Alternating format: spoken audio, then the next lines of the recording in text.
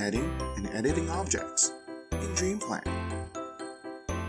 To add a 3D model to your project, select the category from the toolbar.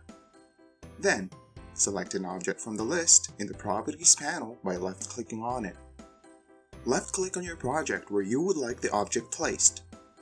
When an object is added to your project, it is automatically selected for editing. Use the icons in the border of the object to resize, rotate, or delete it. Continue watching for additional details on adding and editing objects. To add an object to your project, click a Toolbar tab. Then, select the Category button which will open the list of models in the Properties window. Click on a model to see a preview. Left-click on your project to place the model in your home or landscape. When you place the model, it is automatically selected and you can make edits to it. The two curved arrows at the top of the selection box allows you to rotate the model. Click on it and drag with your mouse to change the rotation.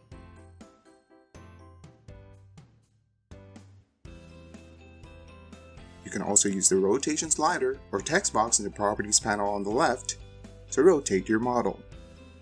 You can change the size of the model proportionally by clicking on the double arrow icon and dragging with your mouse. To change only the width, depth, or height, use the sliders or text boxes in the Properties panel on the left. Reposition a model by clicking on it and dragging your mouse. Release the mouse button when you have it in the right location.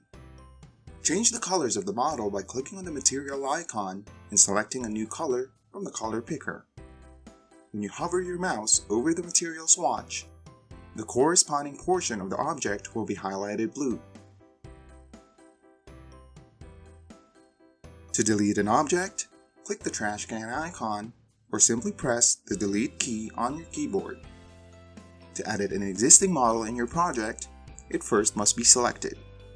To select an object, turn on the selection tool by clicking the select button on the toolbar or simply press the spacebar. When you are in select mode, your mouse cursor will look like a small hand. Click on a model to select it. Once selected, the Properties panel for the selected model will open and you can make edits.